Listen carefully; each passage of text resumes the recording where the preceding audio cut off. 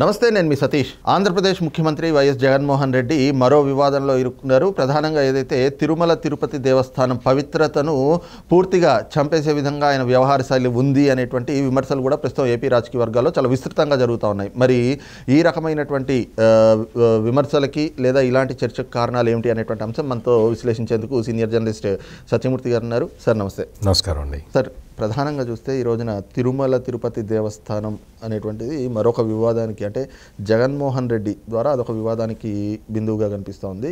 ప్రధానంగా చూస్తే గతంలో ఆంధ్రప్రదేశ్ చీఫ్ సెక్రటరీగా ఎల్వి సుబ్రహ్మణ్యం గారు ఉన్నప్పుడు ఇతర మతస్థులు నలభై నాలుగు మంది అక్కడ వివిధ శాఖల్లో పనులు చేస్తూ ఉన్నారనో వివిధ పనులకి అక్కడ నియమించబడ్డారు అని చెప్పి వాళ్ళని తొలగిస్తే ఆ రోజున ఎల్వి సుబ్రహ్మణ్యం గారినే తొలగించినటువంటి పరిస్థితి జగన్మోహన్ రెడ్డి గారు మనం చూసాం. మరి ఈ రోజున ఆయనే ఒక క్రిస్టియన్ ముఖ్యమంత్రి అని చెప్పేసి అని వాళ్ళ పార్టీ ఎమ్మెల్యేలు మంత్రులు ప్రచారాలు చేయటం.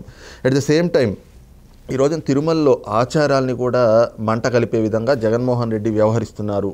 ప్రధానంగా చూస్తే బ్రహ్మోత్సవాల సమయంలో సతీ సమేతంగా స్వామివారికి బట్టలు సమర్పిస్తూ ఉంటారు. కానీ ఈయన ఒంటరిగా వెళ్ళి సమర్పించడం. ఇలాగ అనేక వివాదాలు ఇప్పుడు జగన్మోహన్ రెడ్డి గారిని చుట్టుముట్టుతూ ఉంటే మరి వీటికి ఏం సమాధానం చెప్తారు అసలు? ఇది మొదటి నుంచి కూడా మీరు మంచి టాపిక్ తీసుకున్నారు సతీష్ గారు. ఇక్కడ ఏంటి అంటే తిరుమలలో అన్యమతస్థులు పనిచేస్తున్నారు అనేది పెద్ద ఎలిగేషన్. ఈ అన్య మతస్థులు ఏం చేస్తారంటే వాళ్ళు ఉదాహరణకి క్రైస్తవుడు ఉన్నాడు అనుకోండి తిరుమలలో పనిచేస్తూ ఉన్నాడు. ఏదో అంటే ఏదో డ్రైవర్గా పనిచేస్తున్నాడు అనుకోండి అతను ఏం చేస్తాడు అంటే అతన్ని మన మతాన్ని ప్రోత్సహించే విధంగా అంటే వాళ్ళ రిలేటివ్స్ అని వాళ్ళు వీళ్ళు రావటం కొండ మీద అన్య మత ప్రచారం జరగటం. ఇది జరుగుతున్నది.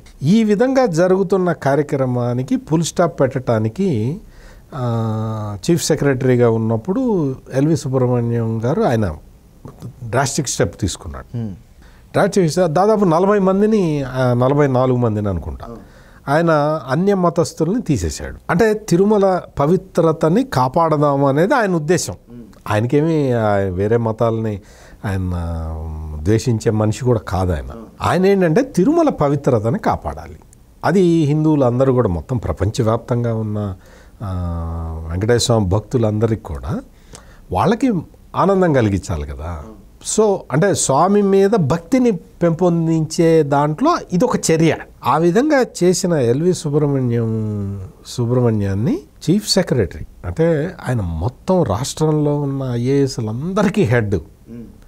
అటువంటి ఎల్వి సుబ్రహ్మణ్యం గారిని అసలు అత్యంత నీచంగా తొలగించేశాడు. చాలా అసలు అది ఆ రోజులు మర్చిపోలేని రోజులు అనమాట చీఫ్ సెక్రటరీని అవమానించి పంపించటం అనేది జగన్మోహన్ రెడ్డి చేసిన పని. సరే అది అది జరిగిన తర్వాత ఎందుకు అంటే ఇంకా ఎల్వి సుబ్రహ్మణ్యం ఉండంగా తిరుమల పవిత్రతని చెడగొట్టడం అనేది సాధ్యం కాదు. అంటే తిరుమల ఆగమ శాస్త్రం ప్రకారం కానీ తిరుమలలో పాటించే సాంప్రదాయాలను కానీ ఉల్లంఘించటం అనేది జరగని పని. ఎందుకంటే ఆయన ఎలా చేయడు. ఆయన అంతకు ముందర ఎల్వి సుబ్రహ్మణ్యం టీటీడీ ముఖ్య కార్యనిర్వహణాధికారిగా కూడా పనిచేశాడు ఆయన. అప్పుడు కూడా చాలా సంస్కరణలు తీసుకొచ్చాడు. అటువంటి వ్యక్తి ఉండంగా మనం తిరుమల తిరుపతిలో మన ఆటలు సాగవు అని తెలుసుకున్నాడో ఏమో ఆ తర్వాత చీఫ్ సెక్రటరీగా ఎల్వి సుబ్రహ్మణ్యాన్ని పంపించేశాడు. ఇప్పుడు మీరన్న రెండవ భాగానికి వస్తే ఇప్పుడు వైవి సుబ్బారెడ్డి చైర్మన్గా ఉన్నప్పుడు తిరుపతిలో ఉన్న నిరర్ధకంగా ఉన్న ఆస్తుల్ని వేలం వేద్దాం అనే ప్రపోజల్ పెట్టడం ఆ తర్వాత ఆపేశారు.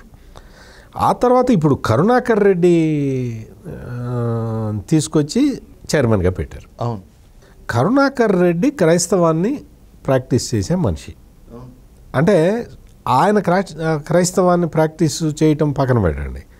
ఆయన కుమార్తె వివాహం క్రైస్తవ పద్ధతిలో జరిగింది. మీరు మీరు అంతక మీరు కరుణాకర్ రెడ్డిని చూడండి. ఆయన ఏ రోజున కూడా ఇప్పటి వరకు చైర్మన్ అయిన తర్వాత ఏ రోజున కూడా తిరునామం పెట్టలేదు. అవును. ఉత్త కుంకుమ బొట్టు ఇట్లా పెట్టుకున్నాడు వెంకటేశ్వర స్వామి దగ్గర సేవ చేసేవాళ్ళు తిరునామం పెట్టుకోవాలి. మీరు ఇంకొకటి చూడండి. అక్కడ ధర్మారెడ్డి ఉన్నాడు. ధర్మారెడ్డి కూడా తిరునామం పెట్టాడు. లుంగి కట్టుకుంటాడు. టీ షర్ట్లు వేసుకొని ఫోజులు ఇస్తాడు. ఇవేంటి అంటే తిరుమల పవిత్రత. ఎవరన్నా చూస్తే తిరుమల టీటీడీ చైర్మన్ కానీ టీటీడీ ఈవో కానీ వీళ్ళందరినీ చూస్తే భక్తి భావం కలగాలి. అంతేగాని టీ షర్ట్ వేసుకొని నేను అక్కడ ఆఫీసులోకి వచ్చి కూర్చుంటాను అంటే అది భక్తులు హర్షించరు. ఇటువంటి కార్యక్రమాలు జరుగుతున్నాయి. ఒకవైపు కరుణాకర్ రెడ్డి మరి కరుణాకర్ అక్కడికి వచ్చిన తర్వాత కూడా మొత్తం అన్నీ కూడా భక్తులని భక్తుల మనోభావాల్ని దెబ్బతీసే నిర్ణయాలే జరుగుతుంది కరుణాకర్ రెడ్డి టీటీడీ చైర్మన్ అయిన తర్వాత ఏం చెప్పాడు తెలుసా? అసలు కింద ఆయన కొడుకు ఉంటాడు మున్సిపల్ చైర్మన్గా ఉంటాడు. తిరుపతి మున్సిపాలిటీ మీద భారం పడుతున్నది. ఎవరి వల్ల? తిరుమలకు వచ్చే భక్తుల వల్ల. అంటే తిరుమలకు వచ్చే భక్తులు ఇక్కడంతా కూడా చెత్తా చెదారం వేయటం వల్ల తిరుపతి మున్సిపాలిటీ మీద భారం పడుతున్నదిట. అందుకని ఆ చెత్తని క్లీన్ చేయటానికి అయ్యే ఖర్చుని టీటీడీ పెట్టుకోవాలట. మీరు అసలు తిరుమల అనేది లేకపోతే తిరుపతికి ఎవరు వస్తారు? ఎందుకు వస్తారు? అంటే నీకు భక్తులు ఎంత ఎక్కువ మంది వస్తే అంత ప్రోత్సహించాలి. మున్సిపాలిటీకి ఆ చెత్త క్లీన్ చేయటానికి రాష్ట్ర ప్రభుత్వం డబ్బులు ఇవ్వాలి. భక్తుల్ని ఎంకరేజ్ చేయాలి. యాత్రికుల్ని యాత్రికుల్ని సౌకర్యంగా ఉంచాలి. అంతేగాని ఆ పెనాల్టీ నీకు భక్తులు ఎక్కువ వస్తున్నారు కాబట్టి నీ మీద పెనాల్టీ వేస్తున్నావు అని వెంకటేశ్వర స్వామి మీద పెనాల్టీ వేస్తారా? వెంకటేశ్వర స్వామి హుండీ డబ్బులు తీసుకొచ్చి తిరుపతిలో రోడ్లు ఉడ్చడానికి ఖర్చు పెడతావా? దీని మీద చాలా భక్తులు చాలా వ్యతిరేకంగా కామెంట్ చేసిన తర్వాత ఈ భక్తుల నుంచి వచ్చిన వ్యతిరేకత చూసి రాష్ట్ర ప్రభుత్వం వెనక్కి తగ్గింది. అంటే నేను ఎందుకు చెప్తున్నానంటే ఇటువంటివన్నీ చర్యలు తీసుకోడు ఎవ్వరూ కూడా వెంకటేశ్వర స్వామి మీద భక్తి ఉన్నవాడు హిందూ అన్నవాడేవాడు ఇటువంటి నిర్ణయాలు తీసుకోడు. ఇటువంటి నిర్ణయాలు తీసుకుంటున్నారు తిరుమల పవిత్రతకి భంగం కలిగించేలాగా వీళ్ళు వ్యవహరిస్తున్నారు. సార్ అదే సమయంలో చూస్తే ఇప్పుడు అంటే మళ్ళీ జగన్మోహన్ రెడ్డికి సంబంధించి అక్కడ ఆచారాల్ని కూడా మంట కలుపుతున్నాడు. అంటే సతీ సమేతంగా బ్రహ్మోత్సవాల సమయంలో స్వామివారికి బట్టలు కానుకలు సమర్పించడం కావచ్చు లేదంటే కనుక ఇప్పుడు ఎన్నికల ముంగిట పార్టీ నాయకులు మనకు మన రాష్ట్రానికి ఒక క్రిస్టియన్ ముఖ్యమంత్రిగా ఉన్నాడు అంటూ ఆ పార్టీ ఎమ్మెల్యేలు మంత్రులు వాళ్ళే ప్రచారం చేయటం. ఈ రోజున వాళ్ళ అత్తగారు మేనత్త విమలారెడ్డి గారు ఆవిడ కూడా మన క్రిస్టియన్ ముఖ్యమంత్రిగా ఉన్నాడు అంటూ వాళ్ళు ఒక ప్రచారాలు చేయటం. మరి ఈ క్రమంలో నిజంగా అక్కడ ఉన్నటువంటి పవిత్రతను ఏకంగా ముఖ్యమంత్రి హోదాలో ఉంటూ ఈయనే చంపేస్తున్నట్లు కావదా?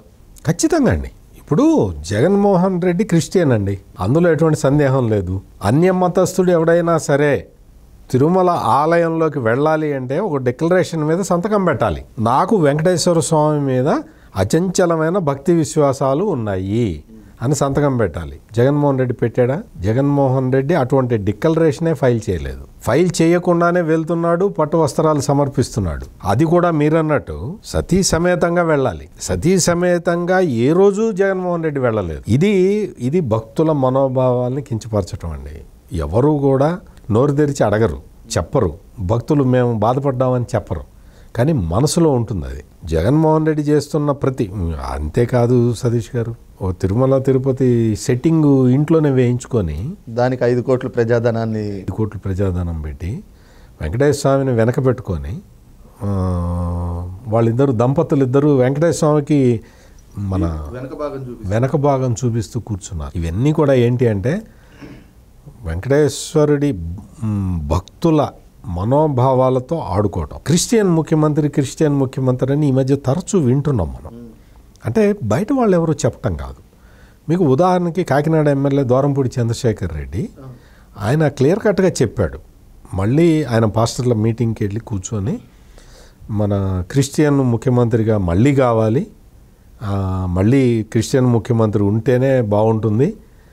అందుకని మీరు అందరూ కూడా మీరు ఓట్లు వేయటమే కాకుండా అందరి చేత కూడా జగన్కి ఓట్లు వేయించాలని చెప్పి క్రిస్టియన్ ముఖ్యమంత్రి క్రిస్టియన్ ముఖ్యమంత్రి క్రిస్టియన్ ముఖ్యమంత్రి అని చెప్పాడు.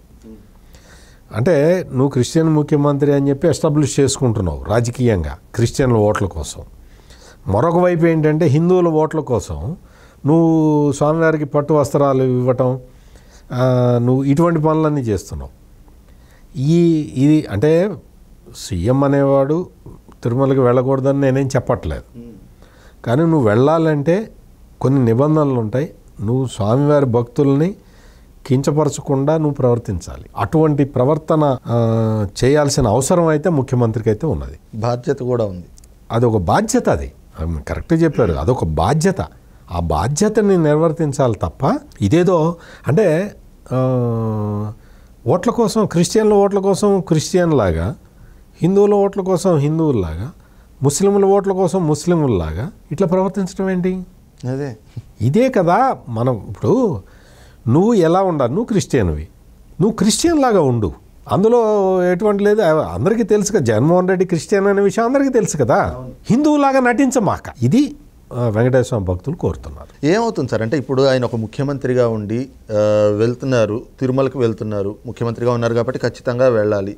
ఒక డిక్లరేషన్ ఇచ్చేసి వెళ్తే ఎక్కడా కూడా ఏం అబ్జెక్షన్ ఉండదు కదా? అలాంటిది ఆ పనులు చేయకుండా వాటిని గతంలో కూడా చూసాం. డిక్లరేషన్ ఇమ్మంటే నేను ఎందుకు ఇవ్వాలి అని చెప్పి అలాగే అనేక వివాదాలు కూడా చూసాం. ఏకంగా ప్రతిపక్ష నేతగా ఉన్నప్పుడు చెప్పులు వేసుకుని ఏదైతే క్యూ మార్గం ఉంటుందో అక్కడికి తిరిగేసేయడం ఈయన వెళ్ళిపోవటం డిక్లరేషన్ నేను ఇవ్వను నేను ఎందుకు ఇవ్వాలి అంటూ మొంకిపట్టు పట్టడం ఇలాంటి పరిణామాలు ఎలా అర్థం చేసుకోవాలి సార్? ఇది ఇది భక్తుల మనోభావాల్ని దెబ్బతీయటం అండి.